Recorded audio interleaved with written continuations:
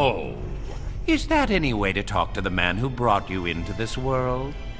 I'd prefer it if you just called me Papa. No, absolutely not. Ah!